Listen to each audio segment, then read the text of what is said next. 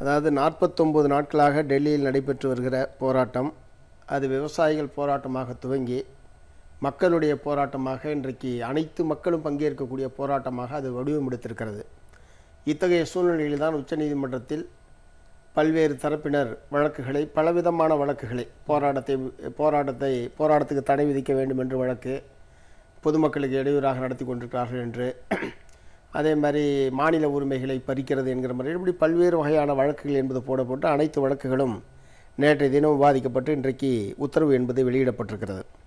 ஆகவே இந்த போராட்டம் நாடு தழுவிய அளவில் மிகப்பெரிய போராட்டமாக வடிவமெடுக்கிறது என்கிற காரண என்கிற காரணத்தினால்தான் இத்தகைய ஒரு உத்தரவை வெளியிட வேண்டிய நிர்பந்தத்திற்கு உச்சநீதிமன்றம் ஆளாகி இருக்கிறது என்பதுதான் என்னுடைய அபிப்பிராயம். இதை மத்திய அரசாங்கமும் உச்சநீதிமன்றமும் சேர்ந்து இத்தகைய ஒரு இந்த போராட்டத்தை ஏதாவது ஒரு வகையில் முடிவுக்கு கொண்டு வர வேண்டும் என்கிற முறையில் அவர்கள் இருவரும் திட்டமிட்டு இதில் ஒரு திட்டமிட்டு செய்திருக்கிற மாதிரியும் எனக்கு வந்து படுது. ஒரே ஒரு விஷயத்துக்காக உச்சநீதிமன்ற நீதிபதிகளுக்கு நான் நன்றி தெரிவிக்க விரும்புகிறது அமைதியாக நடைபெறும் போராட்டத்திற்கு நாங்கள் தடை விதிக்க விரும்பவில்லை அப்படின்னு அவங்க சொல்லியிருக்கிறதுக்காக உச்சநீதிமன்றத்துக்கு நான் உண்மையிலே போராடுகிற விவசாயிகளின் சார்பில் நன்றி தெரிவிக்க விரும்புகிறேன் அதாவது இந்த நான்கு பேருமே பகிரங்கமாக இந்த சட்டத்தை நாங்கள் ஆதரிக்கிறோம். இந்த சட்டத்தை ஆதரிக்கிறோம்னு ஒருத்தர் இன்னொருத்தர் வந்து நேரடியாக மத்திய வேளாண் துறை அமைச்சரை பார்த்து இந்த சட்டத்துக்கு என்னுடைய ஆதரவுன்னு தெரிவித்தவர்.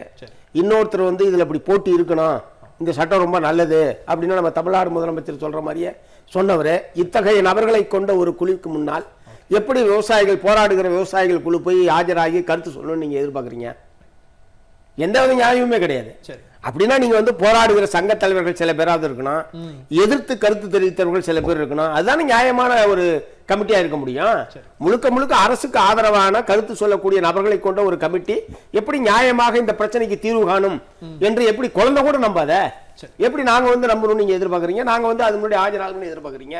உச்சநீதிமன்றத்துக்கு தெரியாத அவங்க சொன்ன கருத்துக்கள்லாம். சரி நிச்சயமா தெரிஞ்சே தான் இது வந்து போடப்பட்டிருக்கு. ஆகவே தான் அந்த கமிட்டிக்கு முன்னால் ஆஜராவதில்லை என்று அகில இந்திய கமிட்டி மேல ஒரு ஒரு விமர்சனம் இருக்கு. அதை நீங்க விமர்சிக்கிறீங்க. அதெல்லாம் சரிதான். ஆனா மத்திய அரசாங்கத்திற்கு எதிராகவும் நிறைய கேள்விகளை உச்சநீதிமன்றம் அந்த இடத்துல கேட்டிருக்கு. அப்ப நம்ம அந்த இடத்துல உச்சநீதிமன்றத்தை ஒட்டுமொத்தமா சந்தேகப்படுறது அப்படிங்கிற நியாயமா இருக்குமா? இந்த சட்டத்தை நீங்க தடை விதிக்கிறீங்களா? இல்ல நாங்க பண்ணட்டுமா நேற்றையில இருந்து கேள்வி கேட்டிருக்கிறாங்க. அப்ப இதை நம்ம எப்படி அணுகணுங்கிற ஒரு கேள்வி இருக்கு இல்லையா? அதாவது பல வழக்குகளில் நீதிபதிகள் பேசும்போதெல்லாம் நல்லா தான் பேசுகிறாங்க பல வழக்குகள் உதாரணம் சொல்ல முடியும். அதெல்லாம் இப்போ நம்ம அதுக்குள்ளே போக முடியாது. பேசும்போது நல்லா தான் பேசுகிறாங்க ஓப்பன் கோர்ட்டில். உத்தரவாக வரும்போது தான் இந்த மாதிரி மோசமாக வருது. இந்த மாதிரி மிக மோசமான கமிட்டி இது. இந்த உத்தரவில் ஒரே ஒரு விஷயம் தற்காலிகமாக ஒரு தடை விதிக்கப்பட்டிருக்கிறது என்பதும் அமலாக்கத்திற்கு தடை விதிக்கப்பட்டிருக்கிறது என்பதை தவிர மிக மிக மோசமான உத்தரவு இந்த கமிட்டி போடப்பட்டிருப்பது என்பது. விவசாயிகள் எதிர்பார்ப்பது சட்டத்தை திரும்ப பெற வேண்டும் என்று. மூணே விஷயம் தான் சார் கோர்ட்டு அரசுக்கு முன்னாடி நாங்கள் வச்சிருக்கிறோம். இந்த மூன்று வேளாண் சட்டங்களை திரும்ப பெறணும். சரி. மின்சார திருத்த மசோதா ரெண்டாயிரத்தி திரும்ப பெறணும். குறைந்தபட்ச ஆதரவு விலைக்கு ஒரு சட்ட பாதுகாப்பு வேண்டும். இதை தவிர வேற எதையும் அரசுக்கு முன்னால் வைக்கல. இதன் மீது உச்சநீதிமன்றம் என்ன சொல்லியிருக்கு? ஏற்கனவே அரசாங்கம் எட்டு சுற்றுல என்ன சொல்லிட்டு இருக்கோ அதே தான் இப்போ உச்சநீதிமன்றமும் சொல்லியிருக்கு. உச்சநீதிமன்றம் புதுசா சொல்லியிருக்கிற ஒரே விஷயம் தற்காலிகமாக இதுக்கு ஒரு தடை என்பதை தவிர வேற எதுவுமே புதுசு கிடையாது. ஒரு இந்த நான்கு பேர் உங்களுக்கு சரியில்லை என்று சொன்னால் வேறு யாரையாவது இரண்டு பேரை நீங்கள் வழிமொழிவது தானே? ஒருத்தர் கேட்கிறாரு நம்ம உங்களுக்கான பதிலோட காத்திருக்காரு. சண்முகம் சார் பதில் சொல்றேங்கிறாரு. சார் நீங்க சொல்லுங்க. விவசாய சங்க தலைவர் இல்லை என்றார் விவசாய சங்க தலைவர் அந்த நாலு பேர் குழுவில் இருந்தா எப்படி நியாயம் கிடைக்கும் அரசாங்க அமைச்சர்கள் யாராவது இருக்காங்களா? அமைச்சர்கள் யாராவது இருக்காங்களா அதுல? இல்ல இல்ல, இப்ப உங்களுக்கான இல்ல சார் உங்களுக்கான பதில தான் சண்முகம் சொல்றார். வந்து போகாத ஊருக்கு படித்த இல்ல இல்ல சார் இல்ல இல்ல, அவரோட பதில கேட்டு நம்ம பேசலாம். அவரோட பதில நம்ம கேட்டு பேசலாம். நிச்சயமாக தீர்வு காணப்படும். இந்த மோடி அரசை மக்கள் ஏற்றுக்கொள்வார்கள் விவசாயிகள் ஏற்றுக்கொள்வார்கள். அது பார்க்க இல்ல பார்க்க நிச்சயமா சண்முகம் ஒரு எழுப்பின கேள்விக்கு பதில் நீங்க தான் சொல்லணும் சொல்லணும் சார். அதாவது கமிட்டியை நாங்க ஏத்துக்க மாட்டோம்னு சொல்றதுக்கு காரணம் யார் கமிட்டியில் இருக்காங்கன்றது இல்ல.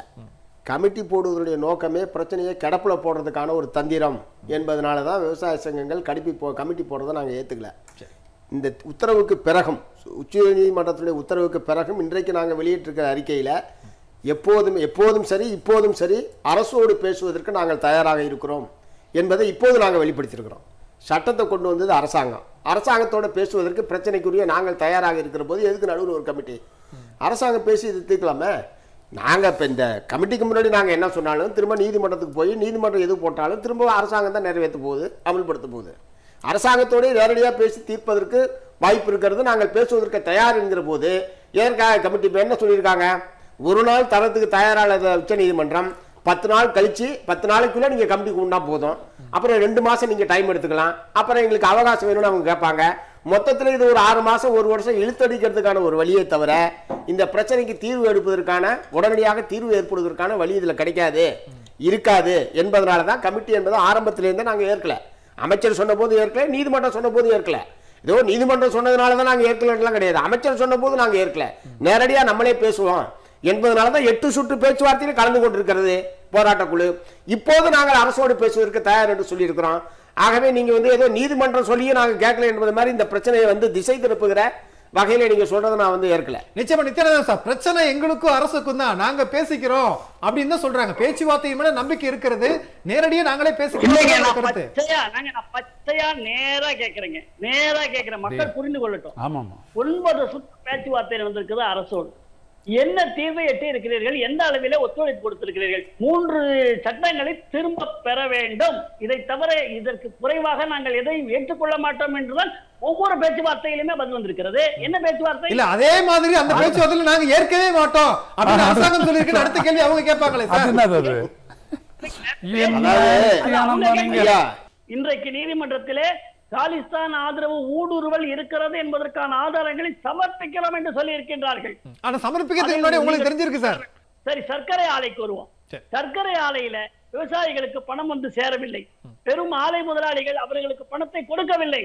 உடனே ஆலை முதலாளிகள் வங்கியிலே இவர்களுக்கு பணம் கொடுக்க வேண்டும் என்று சொல்லி லோன் கேட்கிறாங்க கடன் கேட்கிறாங்க. மோடி அரசு என்ன செய்தது தெரியுமா? எதற்காக கடன் என்று சொல்ல வேண்டும் என்று சொல்லி இவர்களுக்கெல்லாம் நாங்கள் கொடுக்க வேண்டியிருக்கிறது என்று சொல்லி பட்டியலை பெற்றுக்கொண்டு அவர்களுடைய வங்கி கணக்கிலே அரசாங்கம் சேர்த்துள்ளது. யாருடைய வங்கி கணக்கு? இதை நீங்க புரிஞ்சுக்கணும் ஒரு விவசாயி வங்கி கணக்கில் கொண்டு பண்ணுவீங்க தவறான தகவல் கூட சொல்றீங்க. முதலாளிகள் கணக்குல போட்டாங்க. ஒரு முதலாளி கூட விவசாயிக்கு பணத்தை தரல. நீங்க தப்பு தப்பா பேசுறீங்க. மகாராஷ்டிரால உள்ள ஐயா நீங்க தப்பா பேசுறீங்க. என் ஆதாரம் இருக்கு. எல்லா முதலாளிகள் வங்கி கணக்குல போட்டாங்களே பணம். ஒரு விவசாயி கூட பணம் போடல சார்.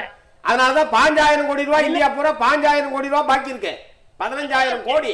ஒரு ரூபா ரெண்டு ரூபா இல்ல. கேளுங்க. சர்க்கரை ஆலை முதலாளிகள் பேரால் கடன் வழங்கி அந்த கடன் யாருக்கு சேர வேண்டுமோ அவர்களுக்கு அவர்கள் வங்கி அதான் சொல்றேன் மறுக்கிறார். சார் அவர் மறுக்கிறாரு. அப்படி வாங்கி கொடுத்தீங்கன்னா ரொம்ப மகிழ்ச்சி. நீங்க முதலாளிக்கு கடன் கொடுங்க எவனுக்கு வேணாலும் கடன் கொடுங்க எங்களுக்கு பணத்தை கொடுங்க. இல்ல சேர வேண்டிய கைக்கு போய் பணம் சேரவே இல்ல.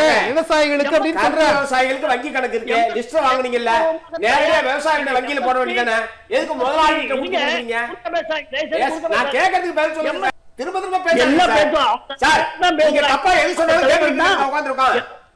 நான் கேட்கறதுக்கு பதில் MSP சார், உடனே மூணு வாபஸ் வாங்கு.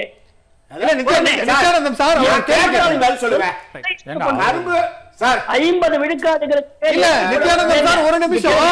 உங்களுக்கு இல்ல இல்ல உங்களுக்கு உங்களுக்கான கேள்வி ஒரு கேள்வி கேட்கிறார். அதுக்கான அது இல்லையா? அதுக்கான மாதிரியே போய் சொல்லிட்டு இருக்கீங்களே. கரும்பு விவசாயிகளுக்கு பாக்கி தர வேண்டியிருக்குன்னு முதலாளிகள் கடன் கேட்டாங்க. கவர்மெண்ட் கடன் கொடுத்துச்சு. ஏன் கரும்பு விவசாயிகளுக்கு பணம் வந்து சேரல? கரும்பு விவசாயிகள் எல்லாத்துக்கும் அக்கவுண்ட் இருக்கு. அரசாங்கம் நினைச்சு சார் பேச விடுங்க சார். நீங்க மட்டும் பேச விடுங்கன்னு கேக்குறீங்க நாங்க மட்டும் பேசும்போது கேட்க மாட்டீங்களா? கரும்பு விவசாயிகளுக்கு கூட எந்த அக்கவுண்ட் இல்ல லிஸ்ட் அவன்கிட்ட கொடுத்தோம்ல? நேரடியா கவர்மெண்ட் வந்து கரும்பு விவசாயிகளுக்கு போட வேண்டியதானே ஒரு முதலாளி கூட பணம் போடல சார். சார் ஒரு முதலாளி கூட அந்த கடனை வாங்கி கரும்பு விவசாயிகளுக்கு பாக்கி கொடுக்கவில்லை இருக்கிறதா? ரைட் சார் இல்ல இல்ல, கண்டிப்பா. நான் அந்த கருத்தை எடுத்துக்கிறேன். இல்ல விவசாயிகளுக்கு பிரித்து கொடுக்கப்பட்டிருக்கிறது. இல்ல சார், தான் இல்ல. சார், அவர் மறுக்கிறார். பழனி சர்க்கரை ஆலை தமிழ்நாட்டை எடுத்துங்க சார் பழனி பெரியசாமி நாலு ஆலையை நடத்திக்கிட்டு இருக்காரு தமிழ்நாட்டிலே அதிக பாக்கி வச்சிருக்கிறது அவர்தான். சர்க்கரை ஆலை முதலாளிகள் சங்கத்துக்கு அவர்தான் தலைவர். எங்கேயாவது ஒருத்தர் ரூபா கொடுத்தான்னு சொல்லுங்க சார் இல்ல நிச்சயமா. நான் நேரடியா கேட்கிறேன் சார் எல்லா ஆலைக்கு எல்லா ஆலையும் நான் டீடைல்ஸ் இருக்கு சார் அனைத்து விதமான போராட்டங்களையும் திட்டமிட்டபடி நடத்துறது. இருபத்தி ஆறாம் தேதி அரசாங்கத்தினுடைய குடியரசு தின அணிவகுப்புக்கு பிறகு விவசாயிகளுடைய அடையாள சின்னமாக இருக்கக்கூடிய டிராக்டர் அணிவகுப்பை நடத்துவது என்று நாங்கள் தீர்மானிச்சிருக்கிறோம். ஆனா அதை உட்பட திசை திருப்பக்கூடிய வகையில் இது சீர்குலைக்கக்கூடிய நடவடிக்கை என்று அரசின் தரப்பில் நீதிமன்றத்தில் சொல்லியிருப்பது என்பது. இந்திய நாடு முழுவதும் குடியரசு தின. விழா முடிந்ததற்கு பிறகு இந்த அணிவகுப்பை நடத்துவது என்றுதான் நாங்கள் அறிவித்திருக்கிறோம். ஆகவே இருபத்தி ஆறாம் தேதி வரை அறிவிக்கப்பட்டிருக்கிற அனைத்து போராட்டங்களும் திட்டமிட்டபடி நடைபெறும் அரசாங்கத்தோ அரசாங்கம் பிரச்சனைக்கு. தீர்வு காண வேண்டும் என்பதுதான் எங்களுடைய. கோரிக்கை